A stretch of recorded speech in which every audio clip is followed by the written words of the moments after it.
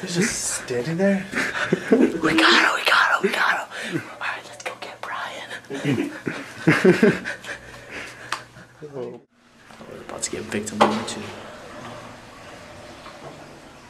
What is this guy? What is he doing? Just surveying. Hmm. Looking for potential victims.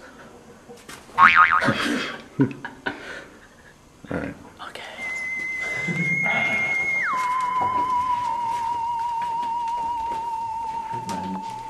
I see you. Oh, damn it! Yo! He's awake! Damn it. you This, hell. this guy already knew. I told him before. Damn it. I heard you guys. You guys woke me up when you when you guys whatever you did. Fuck.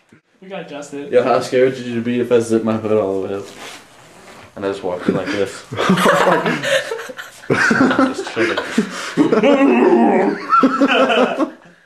Damn it. Was it was it because he slammed on the door?